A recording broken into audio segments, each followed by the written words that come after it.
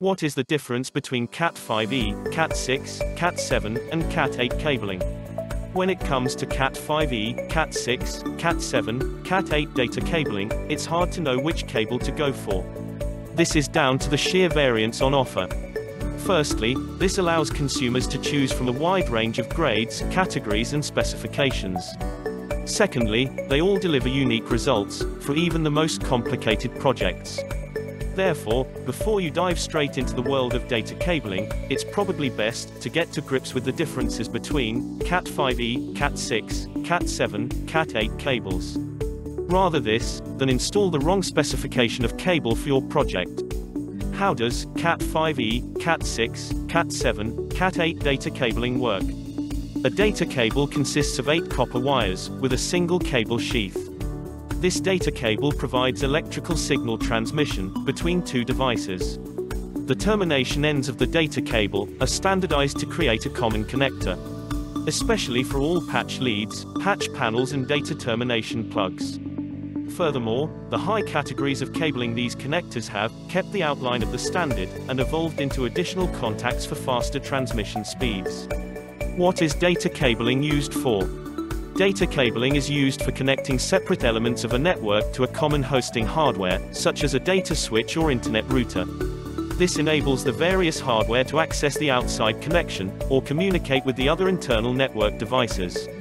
These devices include PCs, phones, printers, CCTV, Wi-Fi and many others. What is voice and data cabling?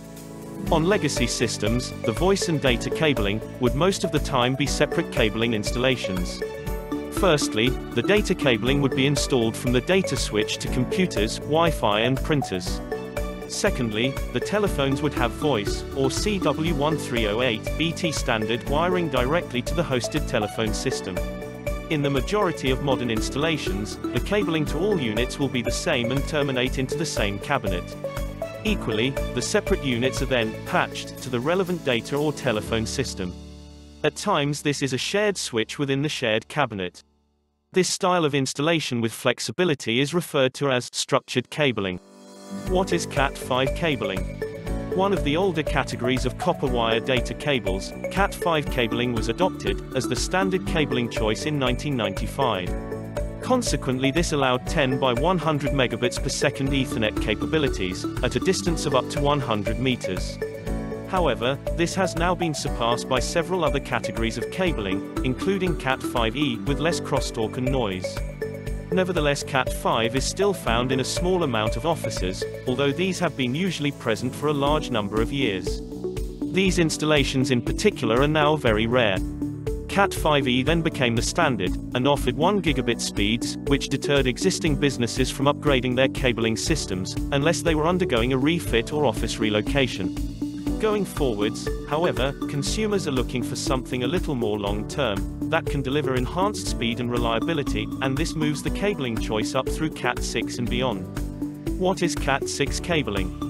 Cat6 cabling was launched in 2002 and, thanks to its copper wires being more tightly wound than Cat5 cables, it soon became the dominant data cable in the market and maintains this position today. Although, extra care is required when installing Cat6 cabling compared to Cat5, the benefits easily outweigh the additional installation time and minor budget increase.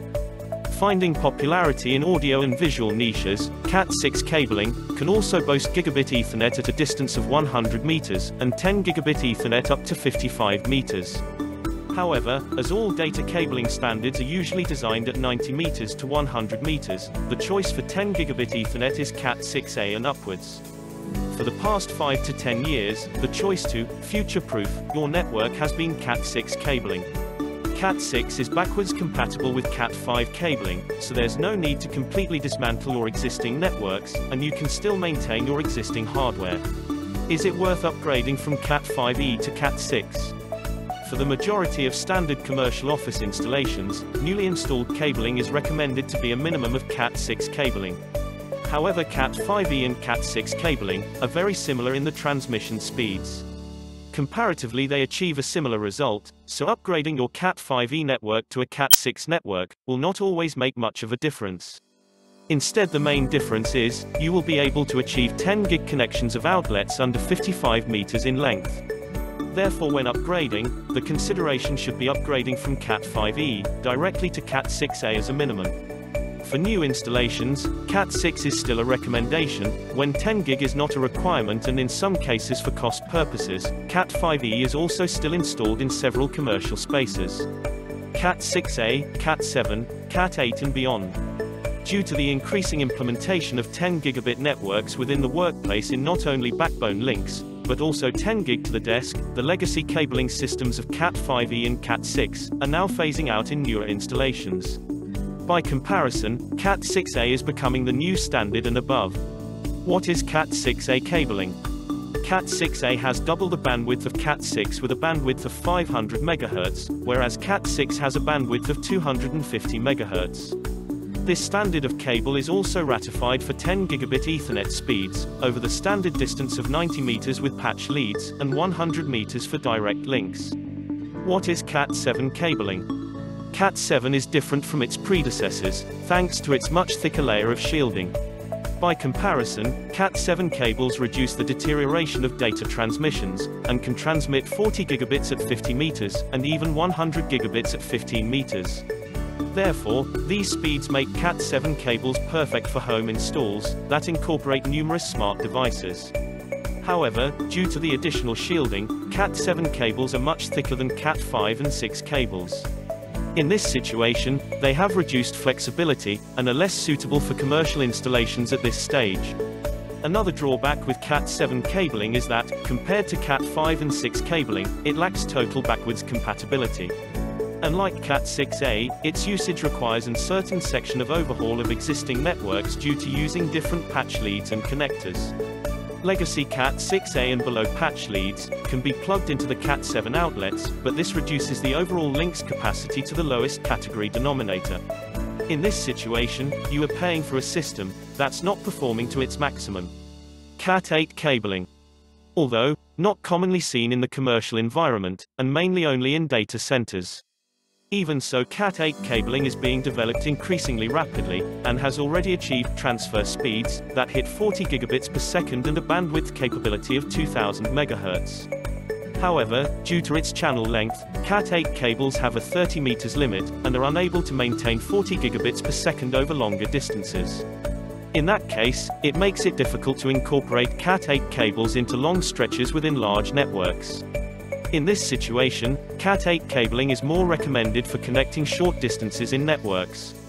We offer free surveys, and during these surveys, we will be able to discuss those requirements and offer you the best solution.